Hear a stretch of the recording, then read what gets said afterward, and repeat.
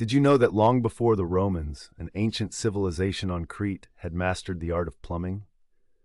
The Minoans, thriving on the island of Crete around 2000 to 1500 BCE, constructed one of the earliest known sophisticated water management systems in the world.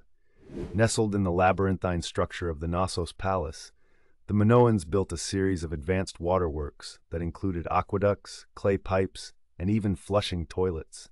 This network supported an entire community with fresh water and sanitation, showcasing the ingenuity of a society many might overlook.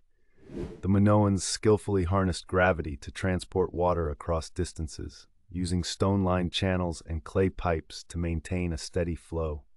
Their architectural prowess didn't stop there. They also built complex rainwater drainage systems to prevent flooding during heavy rains, a testament to their comprehensive understanding of hydraulics. This incredible feat of engineering not only highlights their advanced technical skills, but also underscores the importance they placed on public health and hygiene.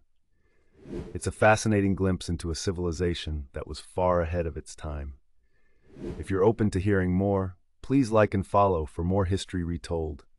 Like, comment, share, and follow for more amazing historical insights.